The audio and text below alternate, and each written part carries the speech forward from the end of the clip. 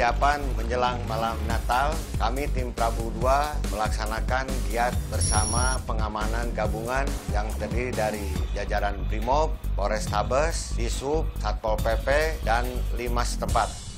Kita berada di lokasi depan Mapolrestabes Bandung, yaitu Gereja Katedral.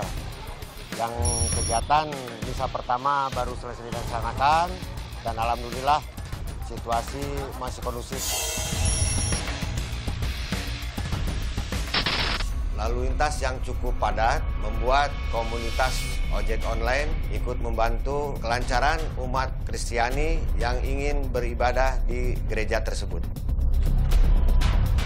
Selanjutnya, kami mendapat informasi bahwa Menteri Kesehatan akan beribadah di Kota Bandung yang tepatnya di Gereja Kristen Indonesia.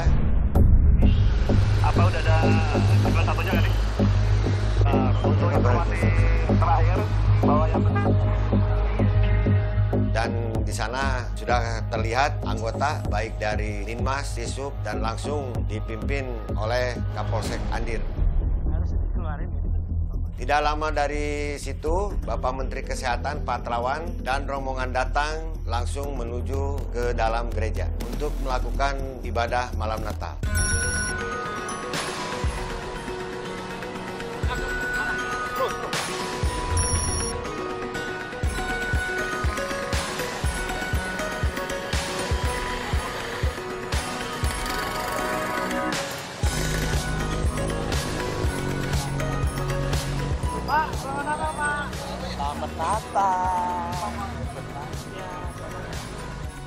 Memastikan keamanan Bapak Menteri, kami beserta jajaran Polsek dan Babinsa terus mengawasi jalannya para jemaah yang sedang melaksanakan misa Natal.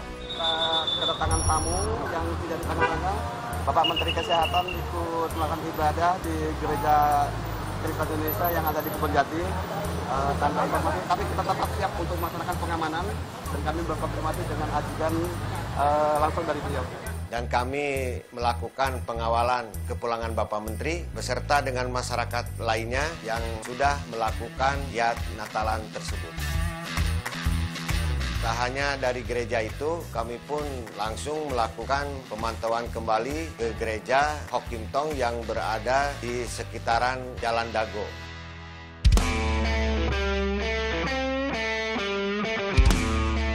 Dan kami pun langsung berkoordinasi dengan anggota Polsek setempat, langsung di bawah pimpinan Bapak Kapolsek Coblong. Tim Prabu 2 giat patroli kembali dan kebetulan kita menyambangi eh, gereja Hokintong dan langsung dipimpin oleh Bapak Kapolsek Coblong.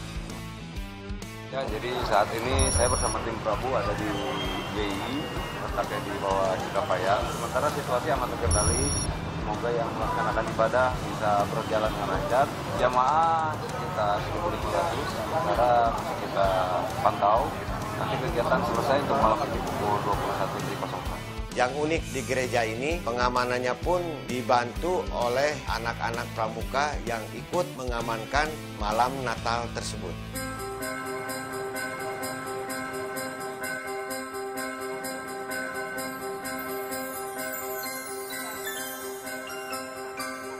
Misa di gereja Hokintong yang di Jalan Dago sudah selesai dan para jemaah bubaran dengan tertib dan nyaman. Jadi kita di sini selesai giat misa di Dago, kita akan melaksanakan giat patroli kembali yang masih eh, diadakannya kegiatan misa Natalan di hari ini. Di sini titik kumpul kita dipusatkan di alun-alun Kota Bandung. Jawa ya. Kantor Aman. Aman Pak, terima kasih. Di tempat-tempat keramanan yang lain, antisipasi kepada kejadian-kejadian yang sering terjadi, terjadinya curas, eh, kejahatan jalanan, dan berandalan terhadap bermotor itu anak-anak yang tidak bertanggung jawab melakukan malakan-pemalakan atau mabuk-mabukan di jalan agar diantisipasi oleh tim Prabu mudah-mudahan dalam kegiatan ini eh, situasi kota Bandung dengan kontribusinya dari semua lapisan jajaran situasi sampai besok hari dalam keadaan aman kondusif. Amin. Malam Natal ini yang berbarengan dengan liburan anak-anak sekolah berjalan aman dan kondusif. Tapi kami pun tetap waspadai perilaku-perilaku warga yang dapat mengganggu ketertiban umum. Kami melintas di jalan Kalipapo, kami melihat pemuda yang sedang jongkok dan muntah. Minum apa kamu? Minum apa? Bir. Bir apa? Bir masa bir udah? Habis berapa birnya? Habis dua botol? Oh, barang bertiga? Iya, iya. Itu siapa itu? Gimana kerjanya? Saya di Talaga Bodas. Sebagian anggota menyisiri gang tersebut bila mana dari salah satu pemuda tersebut menyimpan barang-barang yang mencurigakan. Setelah kami cek, kendaraannya juga tidak layak dan tidak sesuai standar kendaraan pada umumnya. Iya, kalau dekat apa boleh motornya kayak begini? Boleh nggak? Iya, boleh nggak? Kamu masih sadar atau mabok? Sadar. Saya tanya sekarang kalau kamu masih sadar. Boleh nggak pakai gini motor? Boleh nggak? Nah, untuk sementara diamankan ya. Nah, ini lihat, ini nomor udah nggak layak jalan kendaraannya ini. Saat depan belakang tidak ada plat nomor. Selanjutnya karena dari ketiga pemuda tersebut sudah terkontaminasi oleh minum-minuman keras, kami pun harus ekstra keras menjelaskan kesalahan perilaku mereka. Kamu nanti ngambil di Polrestabes, besok ditunggu sampai jam 8 pagi. Jalan Jawa. Ngerti orang Jalan Jawa? Ah, Polrestabes. Tanya, Hah? Apaan? Tegalega kamu? Tegalega, langsung bolong, masuk. Jauh. Oh, ini kan udah mati lima tahun ya. Nah, ya. Kalau nggak motor difotoin, difotoin via via WA, fotoin. Selesai. Ya.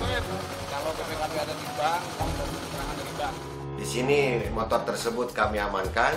Lagi-lagi mereka tidak mengerti dengan perkataan kita. Kami coba jelaskan tentang nasib motor mereka dan mereka pun kesulitan menerima penjelasan dari anggota kita. Kamu tadi minum apa? Anggur merah, terus bir. Pulang kerja. Katanya nggak istirahat. Nah, sekarang saya tanya. Yang saya tanya nanti kalau kamu ngerti, ngerti bilang kalau enggak enggak saya masih bijaksana, kan BPKB kamu di Jawa. Telepon orang tua, Pak, tolong fotoin BPKB-nya. Nanti kirim share ke saya di WA. Nanti, siapa namanya? Acil, Hah? Dias, Dias. Pak, ini fotokopi BPKB yang dari Jawa. Nah, itu aja kebijakan. Iya, pot liatin. Jangan, jangan ke orang lain. Kelengkapannya bawa. Ya. Hah? Plat nomor.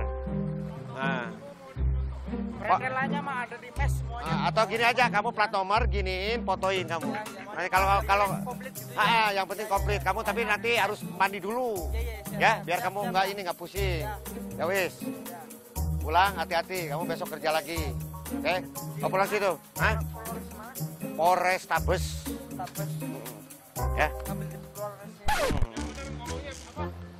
Polres. Ah, Mana terus? Polres Tapes. Bes. Polres mana?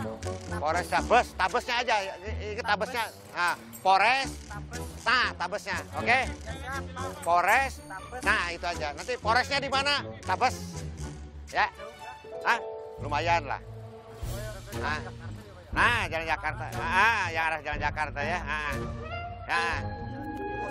Ah, Kosambi belok kiri. Cuma di situ. Ah, Ketika kami melintas di depan ruko, kami mencurigai beberapa warga yang sedang berada di sana. Sini kan.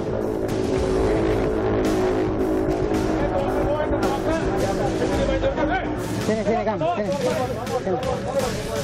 Ketika kami tanya dan salah satu warga tersebut mengatakan bahwa mereka tinggal di sekitar wilayah ini.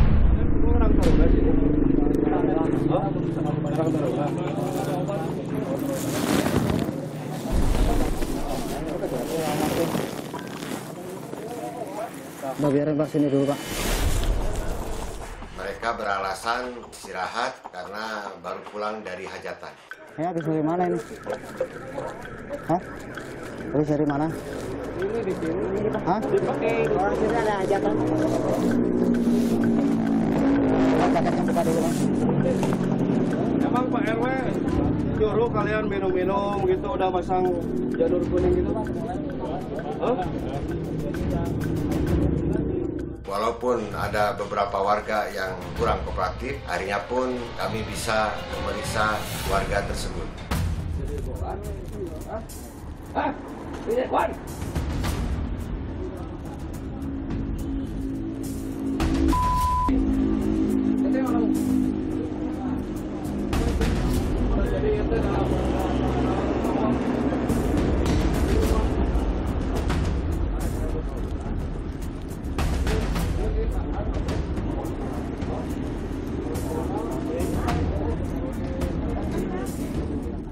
Selanjutnya kami meminta pada mereka agar membuang minuman keras tersebut dan setelah itu agar mereka bubar dan pulang ke rumah masing-masing.